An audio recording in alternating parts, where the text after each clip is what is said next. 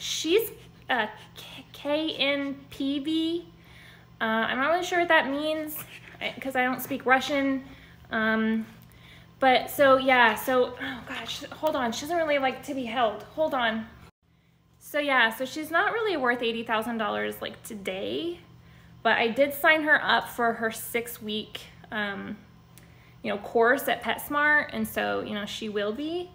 Um, so that's cool. And um, I've seen John Wick 3 like, like, I don't know, like 50 times. Um, so, you know, so I like, I know what I'm getting into. Like, I know what to expect.